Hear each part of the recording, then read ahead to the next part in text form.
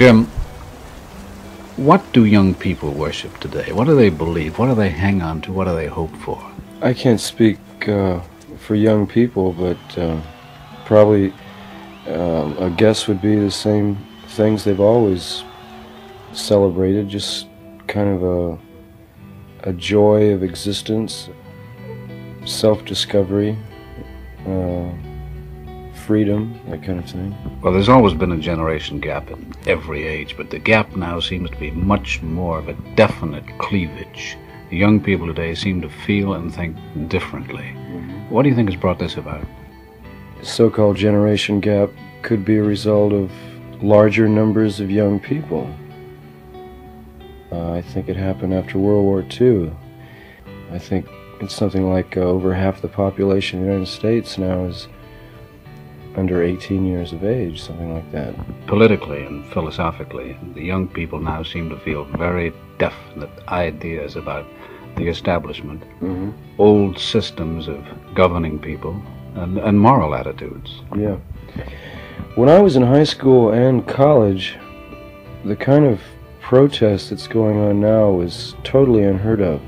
At that time, to be a teenager, to be young was uh, was really nothing. It was kind of a limbo state, and I think it's amazing. Just in in the last five years, what's happened is uh, young people have come increasingly aware of the power and the influence that they have as a group.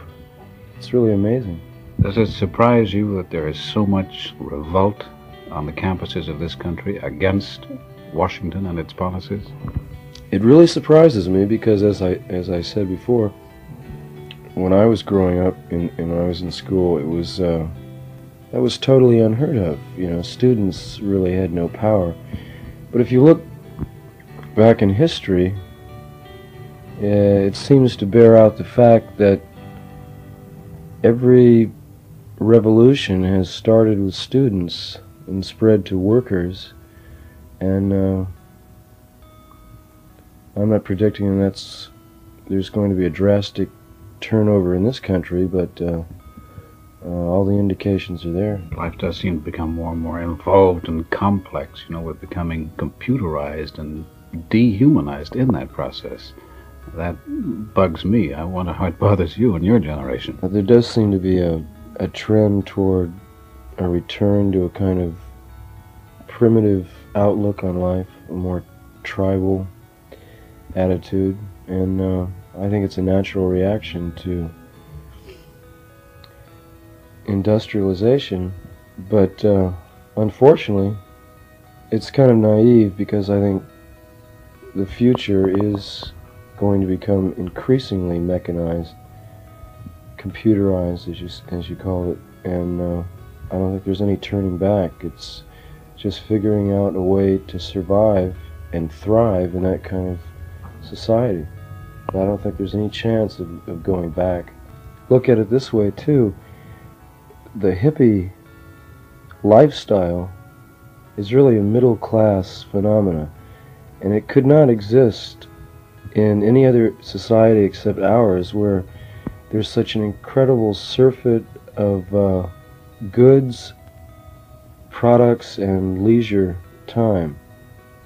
I think that's that's the reason for it because the generations immediately preceding ours had uh, uh, world wars and uh, depressions to contend with, and uh, for the last ten or fifteen years in this country, it's there's time enough and there's there's money enough to live kind of a flagrant, uh, outrageous lifestyle, which was impossible before. Jim, there's a line in your book of poems which reads The cleavage of men into actor and spectators is the central fact of our time. I think that's undeniable, but I wonder, hasn't it always been that way with society? I suppose it has, but um, uh, with mass media, you know, today, it, it becomes more immediately apparent. I think what I was concerned with in that book was the fact that most people feel completely void and helpless in controlling their own destinies or con- controlling the destiny of human life.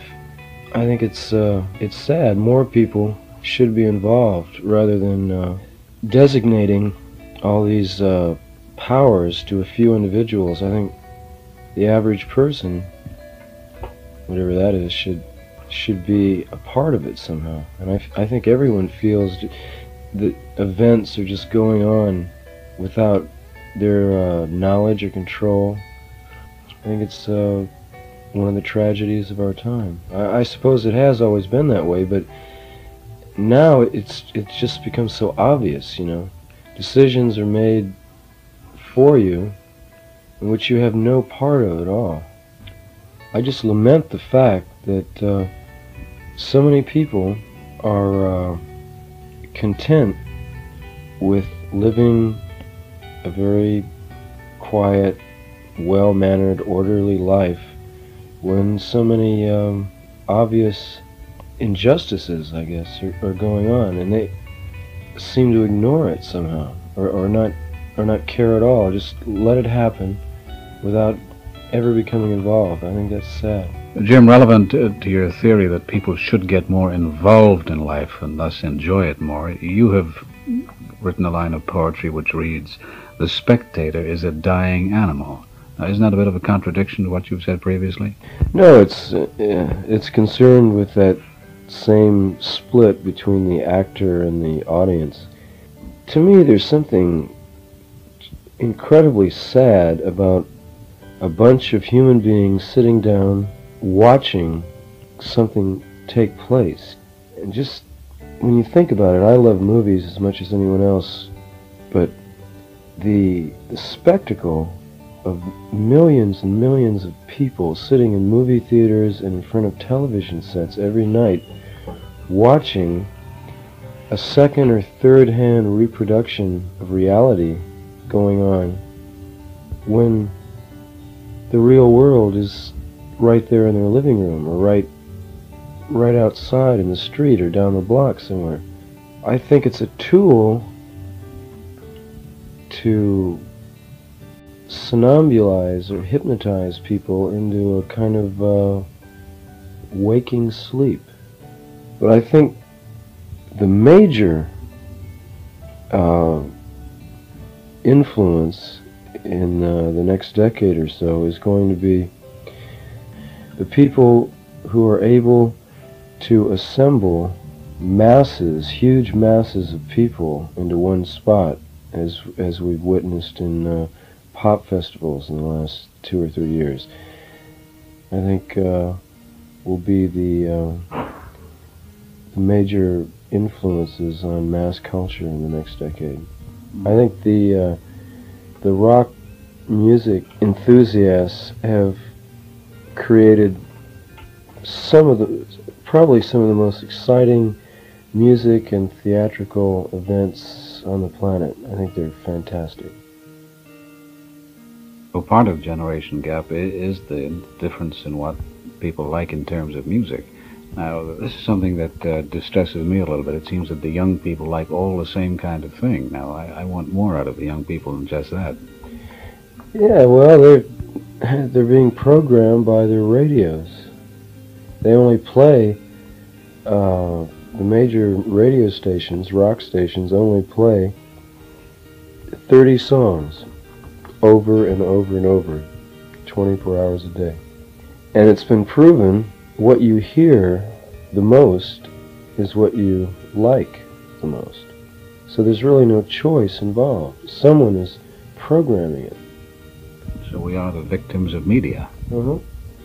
What everyone should say is the medium is the message, and the message is me. Mean, that's the answer is for everyone to, uh, you're asking for an answer. The answer is for everyone to stand up and say, I'm me. And be fully aware of that fact and let everyone else know it. That you are yourself. And express it.